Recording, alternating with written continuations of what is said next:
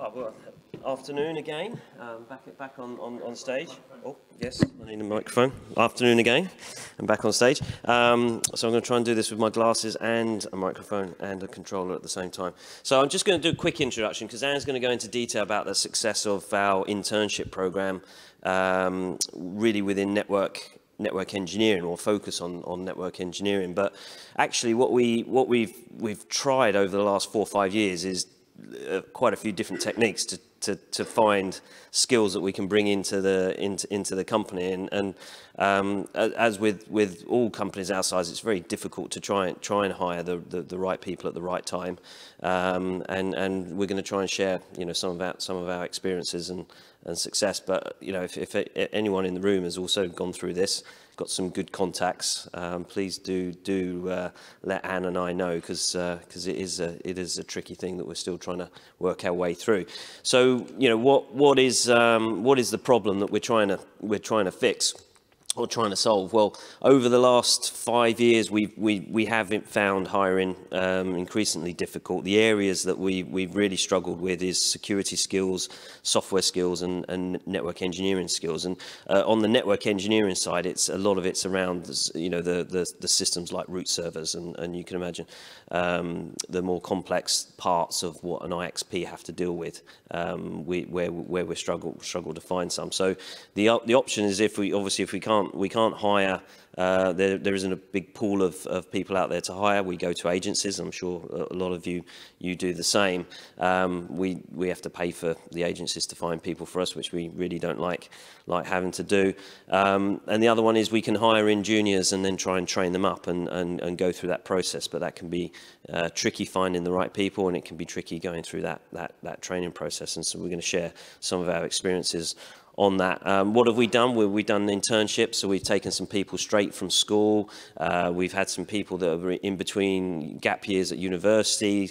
Um, we've tried some offshore contracting, specifically around software resources, where we've gone to other countries where we can might, maybe bring people in uh, on, on slightly better rates. Um, and we just uh, started this year, we're, we're, we're trying to, uh, we signed up with an apprenticeship company and we're trying uh, one person on an apprenticeship scheme uh, to, to come through the, the process as well. And, and what we find, is, as I'm sure you do as well, is, is that gap where you've got somebody leaving college or university and, and you want them to become a domain expert. There's, you know, there's, there's a huge gap between what, what, uh, what skills they come out of university or college with and what we actually need within this industry, within the IXP uh, industry. So, uh, so, so we we started. Um, we've gone through this internship program, and Anne's gonna Anne's gonna cover a lot of the the the, the what we what we went through that on on there. But as I say, if you uh, do do also please reach out to us if you've got any contacts, especially around sort of um, we, the next thing that we might try is like working with universities on on joint programs. And so so if you've got any contacts on that, do do let me know. That'd be fantastic. Otherwise, over over to Anne. You want to? You don't. Oh, you don't need. Okay.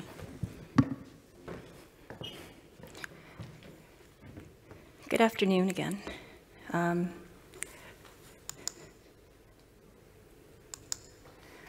Okay, since around uh, 2016, uh, we've had the occasional work experience student from GCSE level, um, A level, university level, for one to three weeks, weeks to help learn about LINX in the industry. Um, when we do that, we arrange sessions with different parts of the company um, and technology, including HR, sales, network engineering, software, security, product, and I guess marketing. Jeremy's worked with them as well. Um, and they're also taken around Telehouse for a tour, um, which they've only read about in their coursework, so it generally helps them with their exams as well. And uh, sometimes they're involved in some other experiences. Um, this photo is from a podcast a recording that Sylvia and Hamna and myself did with Jeremy last year.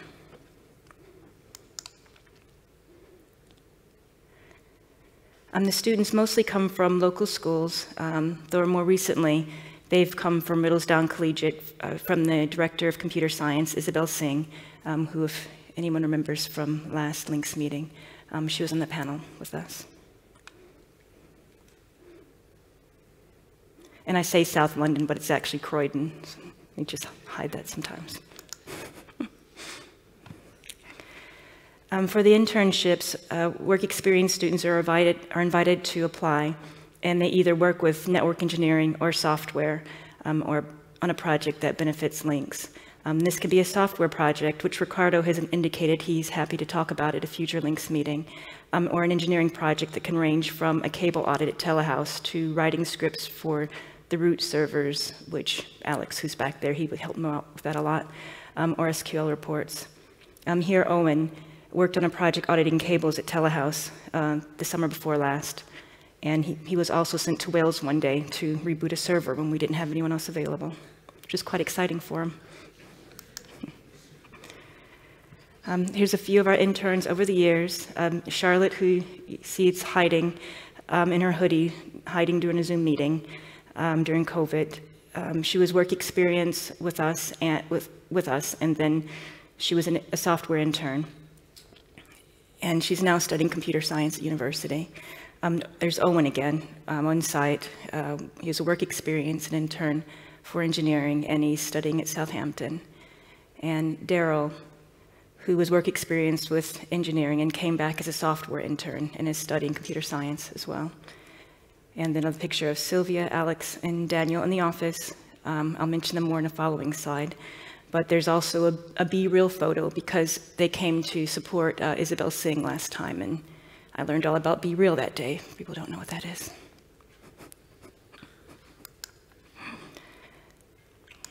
Benefits to LINX. Um, as Richard mentioned, we've studied with hiring um, the past few years, and this has helped with finding uh, new talent.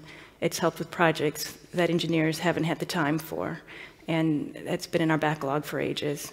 And the students, they bring energy and a new perspective into the team. Um, it's also encouraging some young women in the industry as well, which is one thing we focused on. And it's cost effective and helps us build relationships for future potential employment at LINX. And the benefits uh, to the students include, I've been told, bragging rights at school, um, real world experience, learning about the industry, and networking with industry professionals. Uh, many set up their LinkedIn profiles and added us as work experience. Um, it's helped with university applications and uh, enjoying flex flexible working and helping with professional communication skills, with working with others in a professional environment, but also when they've written certain things for us, they've had to demo things for the team on engineering, and I'm, I'm assuming that with software would be the same thing. And um, of course, with all that, uh, developing their technical knowledge. And we've received some feedback uh, from a few of our interns. I mean, Alex, who I keep mentioning because he is back there, um, came as work experience and then came back as an intern. And then we took him on as a trainee NetOps engineer because he, he impressed us so much. And um, he has brought a lot to the team with his enthusiasm. And he's quite bright and learns Python and all those things really quickly. So he's actually working a lot with, with Mo on Bird um, things. And uh, he's going to go to, is it the root server thing in a couple weeks with Mo. And so what did he say? He said, as interns, we built up lots of valuable industry knowledge and learned how to apply what we've been learning at school, mainly coding and software development principles. We also learned a lot more on the job. And then Daniel, who's worked with us, his work experience, engineering and software intern, and he's pursuing a computer science MComp degree. Um, he said, as an intern, I definitely cemented my practical coding skills and solidified a lot of theory working practically. I was able to take on projects, especially site work, that I never would have done otherwise. And then Sylvia um, Jelena, who came as work experience and then came back as an intern for software last summer. And she, she's hoping to join us again. Um, but she's pursuing a mathematical computation MEng degree. And she said, as an intern for LINX, I was able to gain real life exposure, grow my knowledge, and determine if I am in the right career field. The internship provided me with firsthand experience in the real working world but also enabled me to understand the career trajectory from my desired future job. And um, that's all I have. If there's any questions?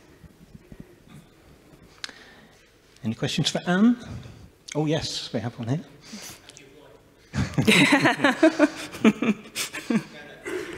Do you just look at the Where LINX website and sort of take it from there, is it? Should we sort of pass these around to sort of like uh, children of friends and so on and so forth? I mean, if you have, yeah, if you have anyone, just send them, send them through, yes. I mean, I've, I've one reason I've used um, Isabel Singh at Riddlesdown so much is because that is where my son went, and she impressed me because she'd call me and say he hasn't studied enough for his exam or whatever. So she was brilliant. So I've st- I've just kind of stuck with them. But if there's if you have anybody, please send them through.